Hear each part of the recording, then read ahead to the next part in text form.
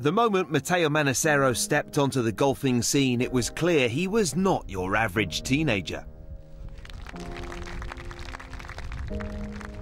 Armed with a calmness beyond his years and an all-round game to match, the young Italian enjoyed a successful amateur career and as a result didn't have to wait long before turning pro. Winner of the silver medal, Matteo Manassero.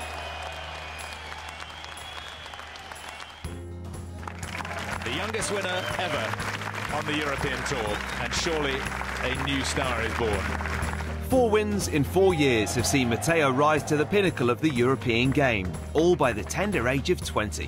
Not only is he the youngest player to win on the European Tour, he's now the youngest player in the world to win four professional tournaments following his dramatic playoff win at this year's PGA Championship.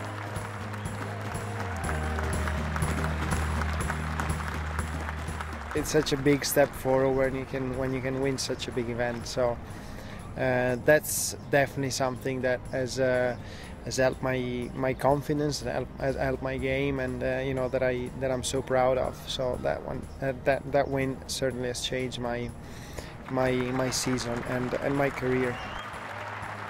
He played very good at the start of the season. He won the, the PGA, and after that, uh, obviously, a little bit more pressure than uh, normal because um, when you get in the top 30 in the world, uh, start playing uh, with the big players, and uh, his game went a little bit uh, down. But that's why he took a three weeks off. So hopefully, we can get back from here now to to finish the race to Dubai and to start the race to the Ryder Cup. Much of Matteo's success can be credited to his coach and mentor Alberto Binaghi. The pair joined forces in 2005 when Matteo was just 12, and their close relationship has given Matteo's career a true sense of guidance. He's an important figure for, of, my life for sure. I know him since like eight years, something like this, and uh, as um, has helped me so much in so many things. You know, life-wise, golf-wise, is a, is a very important person for me. Matteo is very fortunate to have Alberto behind him. He works incredibly hard and he knows uh, Matteo's swing inside out. He knows his whole game so well. And if anything starts to fall down, Alberto certainly knows how to bring it back up again. I've always been with him since he was 13. I caddy for him, so I mean we are good friends and uh, we enjoy life even when uh, outside the golf. The golf, of course, in the golf we have tough, tough times. Sometimes we have arguments because that's the way he should be. Because sometimes he's, he's, not an easy player to teach anyway because uh, he wants to know everything and he wants to be perfect every time. But um, he likes to have some friends uh, around and uh, I think even the physio is always is almost uh, always driving with us, and I think it's important. Even it's a it's a big investment, but I think it's a good investment for his body for his future because uh, he needs to be 100%. On tee from Verona, Italy, Matteo Manassero. Promises nothing without hard work. At the end of 2012, Matteo embarked on a fitness program designed to condition him for further success. When Matteo was 16, uh, he was uh, a very good player. Obviously, his body was a little bit uh, overweight. But when somebody's perf performing so well, you don't want to change uh, too much, especially when he's 16 that he needs to go and hit ice cream, he needs to enjoy his life. So after last year, uh, we say, okay, I think this, this, this is the period in which you will have the biggest uh, break because he never had four weeks in a row since he was 16. So now we have four weeks. We have to try to go to run to eat a better food and to see what happens if you feel that you can do it it's okay.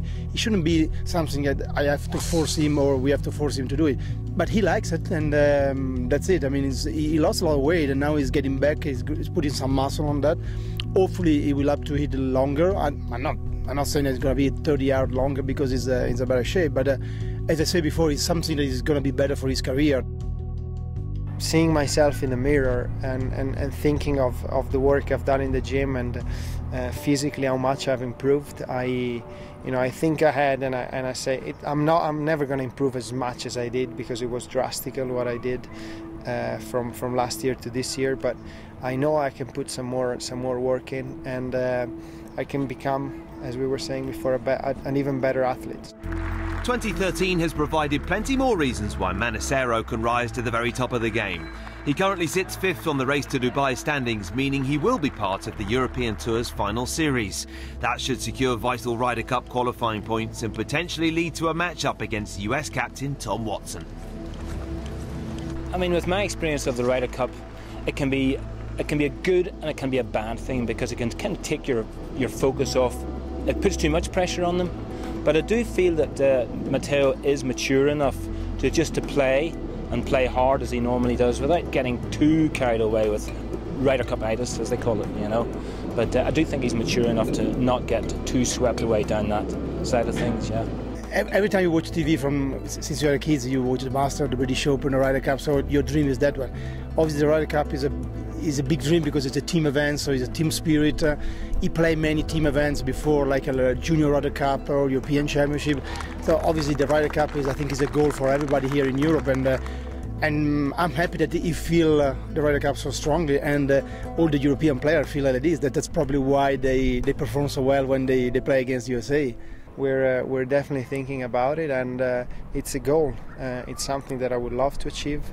Um, uh, for sure it's going to stress me a little more than normal here, but I'm I'm not obsessed by it. Um, we'll see if it's going to happen. There is so much competition, and uh, shot can make a difference many many times. And um, for how many rounds, how many shots and, and tournaments we play, uh, that makes it you know really really hard and and and tiring. So it's going to be a long season from now on, from now to, to next September. But uh, I'm certainly putting all the effort into it.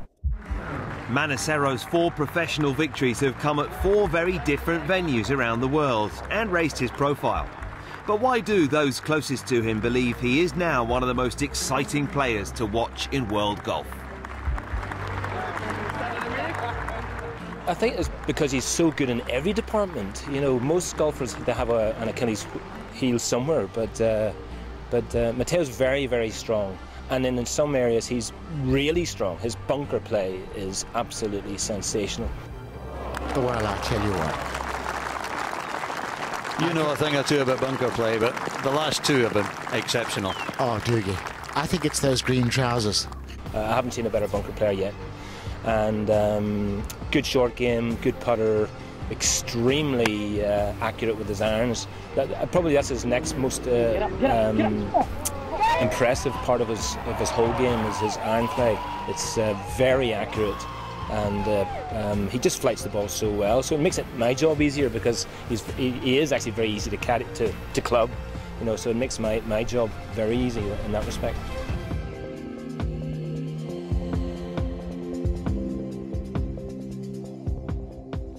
Well, if somebody says to me, a 20 year old with immense talent, and he's, you know, I mean, he's a pretty, you know, handsome looking guy, you know, he's got the world at his feet. Normally, an ego goes along with that, but he's got none. He really is genuinely a very, very polite, courteous person. And I'm, I'm impressed with that now. You know, normally, as I say, there'd be some little aspect of ego there, but uh, he's surprisingly got uh, none unassuming and good-natured. Despite such early success, Matteo remains as level as he was when he entered the professional game. We're all trying uh, to to get the best out of my game, but uh, out of my life in general. You know, it's uh, it's a really nice life, but you've got to make it more simple, having uh, having great people around you. And uh, you know, I was I was lucky when I found to find the right people and uh, I, I, really want to keep going with, with these guys because they they help me. I know perfectly that they want my best and uh, that's the way to go really. So if, if I'm passing through through a rough moment they need to go through it as well and, and they need to care about it to to then uh, with me put a lot of effort uh, and a lot of extra work to to get me out of that so uh, it's uh, it's it's all a teamwork for sure, and uh, we're all we're all kind of a big family. With a strong support network and a game that keeps on improving, Matteo could go on to become the first major winner from continental Europe since Jose Maria Olazabal won the Masters in 1999.